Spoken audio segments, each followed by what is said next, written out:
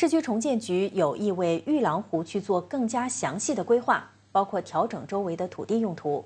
分析师指出，计划一旦敲定，预料将会出现更多的商业项目，带动附近的祖屋价格，尤其是班丹和德曼花园一带，增幅可能会达到百分之五。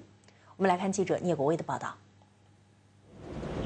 班丹和德曼花园祖屋区的转售价一般比玉郎东祖屋区低百分之十到百分之十五。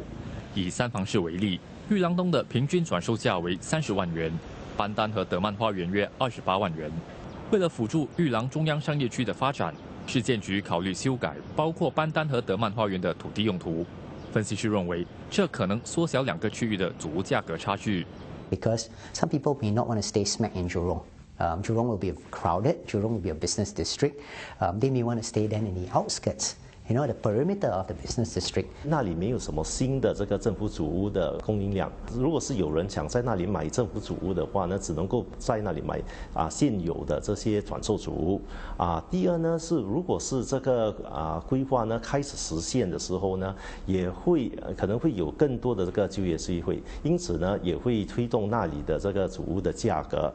分析师也认为，班丹和德曼花园未来可能建造更多新的预购主屋。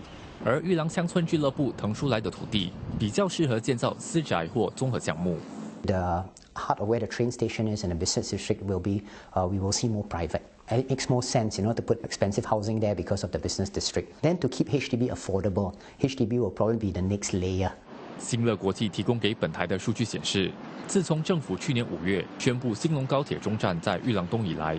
私人公寓的平均转售尺价一年来从八百七十二元上升到八百九十元，增幅约百分之二。祖屋转售价也上升百分之二到百分之三。新传媒新闻记者聂国维报道。